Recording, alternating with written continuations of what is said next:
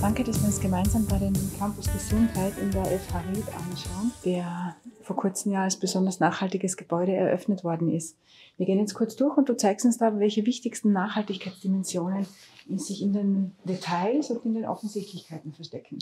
Ja, wir haben versucht, die breite Baukupatur des, äh, des Baukörpers einfach nur Qualität zu schaffen und ähm, haben in Wahrheit hier zwei große Lichthöfe, äh, die einfach auch die, die unteren Räumlichkeiten noch äh, lichtdurchfluteter aussehen lassen und einfach auch Qualität hereinbringen in das Ganze. Ähm, von den Materialien ähm, sind wir ab dem Erdgeschoss im Prinzip ähm, im, in Holzbau unterwegs. Da sieht man schon manches Standard bei den Fenstern. Genau, Dreifachverglasung haben wir hier im gesamten Gebäude. Die Fenster haben eine Kippfunktion, hat einfach den Hintergrund, ähm, dass man einfach da ein bisschen dem Nutzerverhalten gegenwirkt und weil, weil wir einfach sehr reduzierte Haustechnik in diesem Gebäude haben. Das Nutzerverhalten gleich ins Fensterdesign sozusagen hineingebaut. Genau. Ja.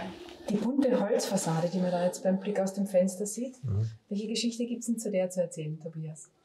Ja, auf der einen Seite ähm, wollten wir eine, eine attraktive Fassade seitens der Architektur machen, dass die Fenster in Szene gesetzt werden und hinsichtlich der Nachhaltigkeit ist es so, dass wir eine ähm, Holzlasur aufgebracht haben, eine Vorvergrauung, die keine Metalle ausspülen soll, aber auch so ist, dass sie ähm, wartungsarm ist. Also wir haben das äh, so ausgewählt, dass es in äh, zehn Jahren nicht ähm, zum Nachstreichen ist, sondern wirklich von innen auch nach äh, verkraut. Tobias, wir sind an deinem Lieblingsplatz angekommen. Warum mhm. ist es der? Ja, weil wir sind im zweiten Obergeschoss. Äh, das ist ein Bereich, ein Wartebereich ähm, im, im Verwaltungsbereich, kann man so sagen.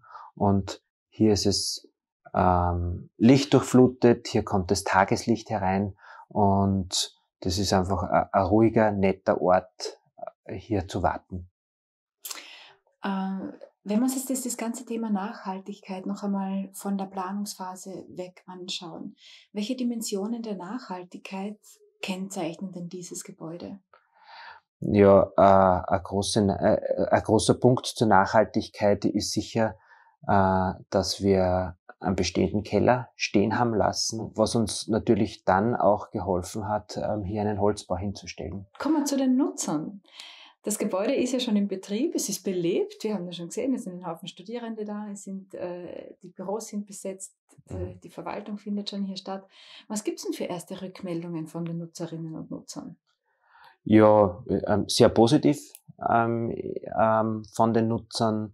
Es ist, äh, man merkt es einfach unten, wenn man reingeht. Im, im Schulbereich ist, ist sehr viel Bewegung da. Ich denke, es wird recht gut angenommen und, und auch die Rückmeldung seitens äh, der Bauherrschaft ist, ist recht gut. Und, und ich glaube auch der Schritt dahingehend, ähm, endlich ein neues Gebäude zu haben und, und äh, moderne Räumlichkeiten, das ist sehr gut angekommen. Habt ihr ein bisschen eine Geschichte der Nachhaltigkeit auch den Nutzern erzählt? Ja, immer wieder. Das waren wichtige Argumente, gewisse Be Beweggründe einfach auch so mitzuteilen. Ich hätte noch eine ganz persönliche Frage an dich, Tobias. Was hatten wir ähm, am meisten Spaß gemacht dabei, diesen Campus hier zu planen? Ja, der Bauherr ist zu uns gekommen und hat gesagt, äh, wir wollen ein Leuchtturmprojekt machen und äh, das Spannende an dieser Aufgabe war, äh, dass wir, ähm, und das Schönste an dieser Aufgabe war, dass äh, wir das vereinen haben können mit dem Thema der Ästhetik des Gebäudes, äh, der Nachhaltigkeit des Gebäudes und auch äh, der Funktion des Gebäudes. Ein Gebäude muss trotzdem funktionieren und, äh, und unter dem Deckmantel, dass wir die Kosten äh, gehalten haben. Sehr schön, sehr schön. Vielen Dank, Tobias. Danke. Vielen Dank.